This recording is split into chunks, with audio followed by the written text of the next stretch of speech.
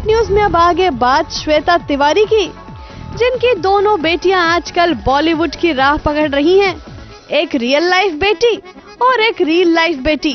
पहले जरा देखिए छोटी सी बच्ची को, जिसे आपने कसौटी ज़िंदगी की में प्रेरणा की बेटी स्नेहा के रूप में देखा है और अब ये फिल्म्स में जाने के लिए तैयार है।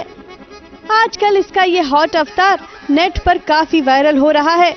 और अब बात प्रेरणा की दूसरी बेटी, यानी श्वेता तिवारी की रियल लाइफ बेटी, पलक की, क्योंकि वो भी बॉलीवुड का रुख करने को तैयार है। ये है एबीपी न्यूज़ आपको रखे आगे।